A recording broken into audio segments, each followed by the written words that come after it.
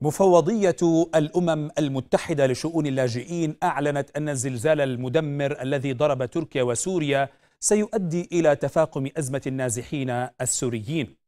فالمؤشرات الأولية تقول إن نحو خمسة ملايين وثلاثمائة ألف شخص في سوريا تضرروا من الزلزال ويحتاجون إلى شكل من أشكال المساعدة في مجال الإيواء.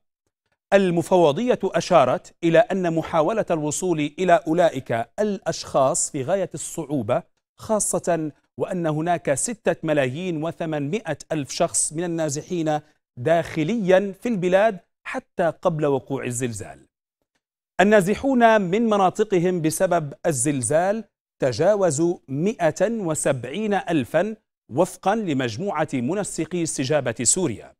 فيما تخطى عدد النازحين القاطنين في مراكز الإيواء نحو 36 ألفا في إدلب وريف حلب.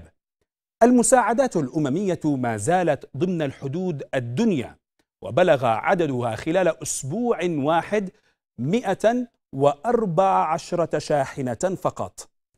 تركز المفوضية حاليا على أنشطة إنقاذ الأرواح وأعلنت عن خطة تمتد من 8 إلى 12 أسبوعا تستهدف دعم سبل العيش والخدمات الأساسية في المناطق المتضررة.